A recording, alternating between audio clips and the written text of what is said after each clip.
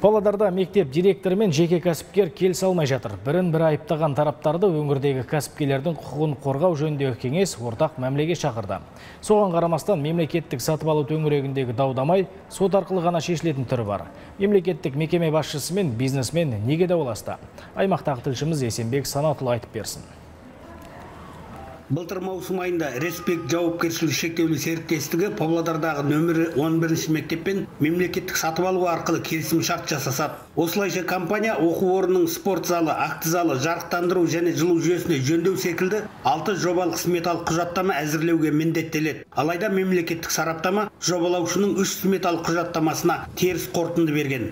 Основная проблема еще некомпетентности заказчика. Бар мәселе тапсырысты берушінің қабілетсіздігінен олар мемлекеттік сатып алу порталына тапсырысты дұрыс бермеген. Біз құжат әзірлеп жатқанда мектепте басқа да құрылыс жұмыстары жүргізілген. Оны ескертпеген тіпті мектептің мәртебесі өзгергенін де айтпаған ғой. Содан болып мемлекеттік сараптамадан өтпей қалды.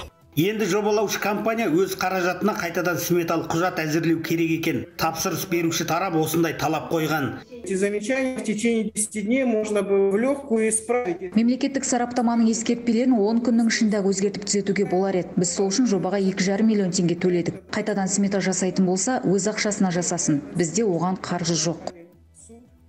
Тараптардың тартысын талқыға салған кәсіпкерлердің құқығын қорғау жөніндегі кеңес келісімге келуге шақырады, бірақ оған екі жақта көнбейтін секілді. Мектеп директоры айтып отыр, бізді біз жақтан барлық дұрыс болды деп. А екінші жағынан байқасаңыз, кәсіпкер айтады, дұрыс данный бермеді маған. Содан кейін оны өзгертті дейді.